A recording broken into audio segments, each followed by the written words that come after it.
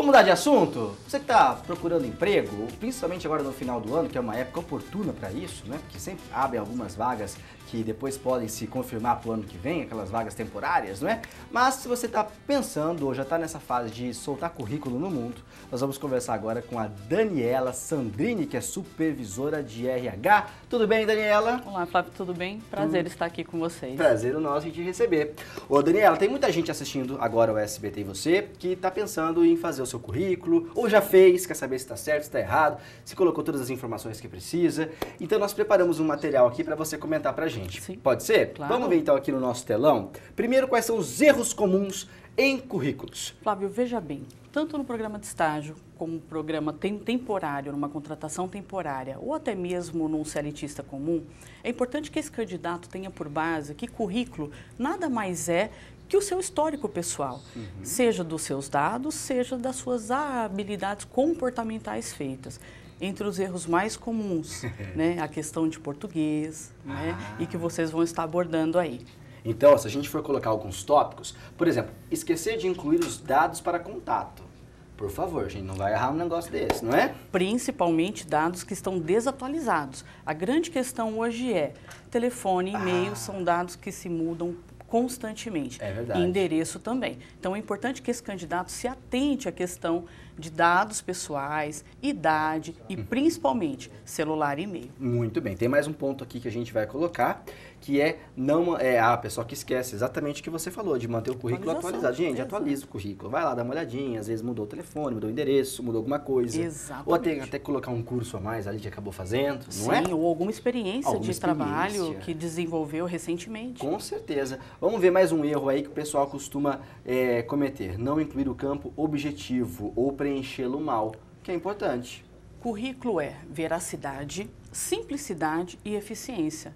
A grande questão aqui é para onde você quer exatamente ir, o que, que você quer desenvolver. Uhum. Né? Então não adianta você simplesmente colocar o currículo extremamente aberto. Se você é um estudante de nutrição, Aham. você quer desenvolver habilidades na área de nutrição, não uma área administrativa aberta propriamente dita. Muito bem. Vamos ver mais um ponto aí que é um erro.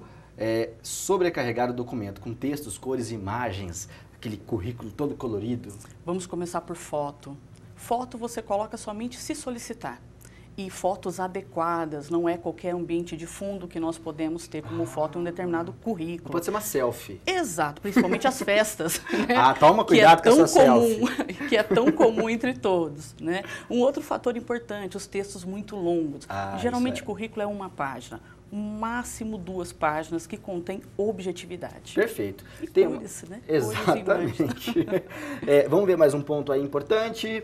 Fazer elogios ao próprio comportamento.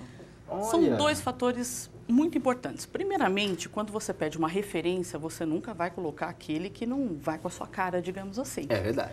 Um outro fator importante é você se autoelogiar com alto número de qualidades. É bom que se utilize sempre o bom senso. Ah, então pode falar, mas bom senso. Qualidades todos temos. Exatamente. Mas não esse sobressalto.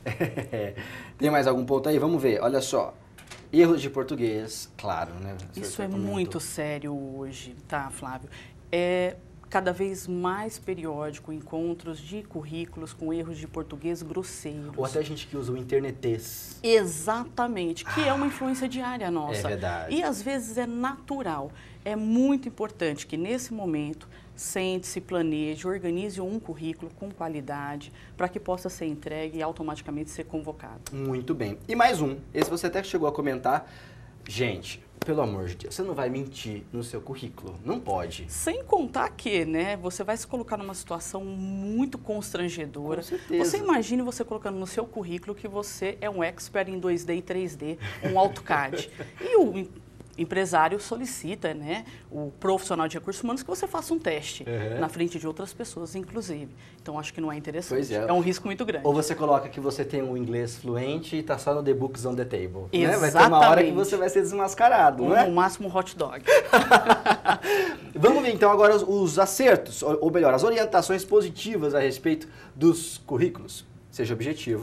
Objetivo, sem Uma página nenhuma. já está bom. Exatamente. E colocar exatamente o que se pretende, qual é a área que se pretende, o que se quer desenvolver. Perfeito.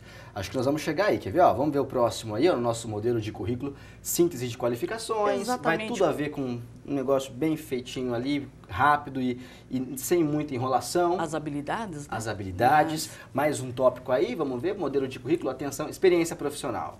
Exatamente. O que você já desenvolveu, seja ela em carteira assinada, conforme todo mundo fala ou não, ou alguma área que você já prestou algum, algum, algum serviço. Uhum. O importante é, se você tem um currículo vasto, é não descrever muitas, entendeu? É colocar as mais recentes. É que tem gente que talvez pensa assim, ah, meu currículo é tão pequenininho, vai me desmerecer. E ao contrário. É ao contrário, exato. Pelo menos as três ou quatro últimas no máximo. Muito bem. Vamos ver aqui o ponto para a gente finalizar. A formação, Formação acadêmica, acadêmica. óbvio, para todo mundo saber. E tem mais um tópico, formação complementar. Conhecimento informática, Perfeito. pacote Office, que é a internet, enfim, Hum, né? muito O inglês, se é fluente, se é básico, os cursos que já desenvolveram anteriormente ou não. Muito bem, Daniela.